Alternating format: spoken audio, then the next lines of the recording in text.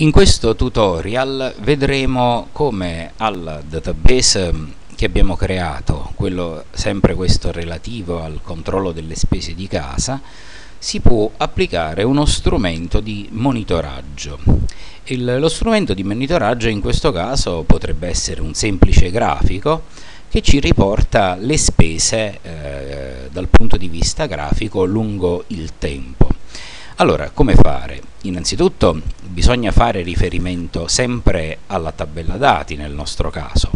Vedete la query eh, diciamo, che abbiamo visto prima, questa query a campi incrociati è una query costruita sulla tabella dati.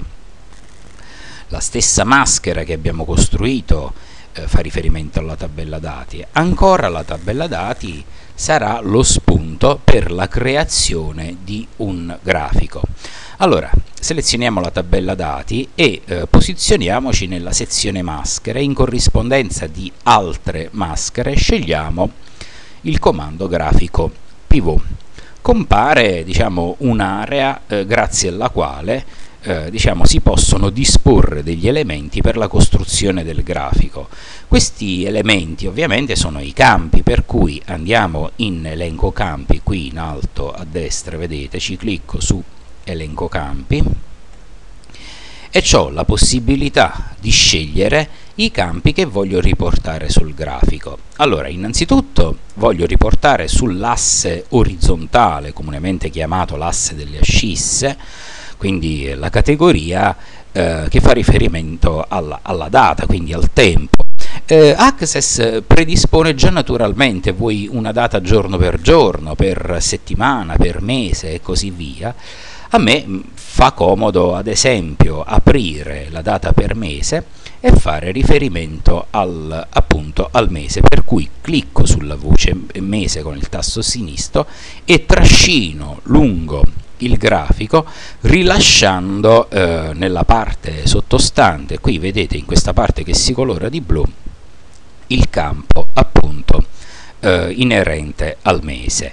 Poi per quanto riguarda invece eh, l'altra varia cioè la variabile quella che cambia quindi nel tempo voglio prendere in considerazione l'importo della spesa per cui seleziono la voce importo eh, la eh, seleziono con il tasto sinistro del mouse, la trascino lungo l'area del grafico e la rilascio nel eh, diciamo, rettangolo che si tinge di arancione, il cui bordo si tinge di, scusate, di blu, la rilascio all'interno di questo rettangolo.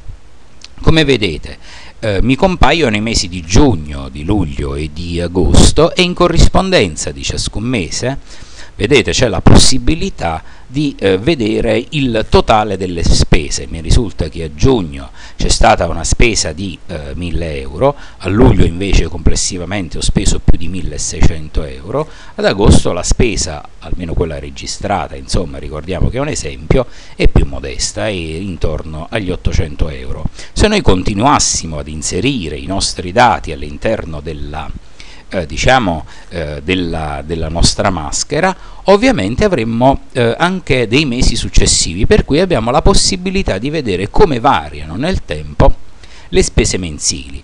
Ovviamente se io clicco sul um, grafico eh, diciamo ho anche la possibilità di apportare delle modifiche al grafico stesso, ma queste saranno oggetto eh, diciamo del prossimo tutorial. Ricordo che tutti i corsi, videocorsi gratuiti e gli approfondimenti sui tutorial li potete trovare all'indirizzo www.albertofortunato.com.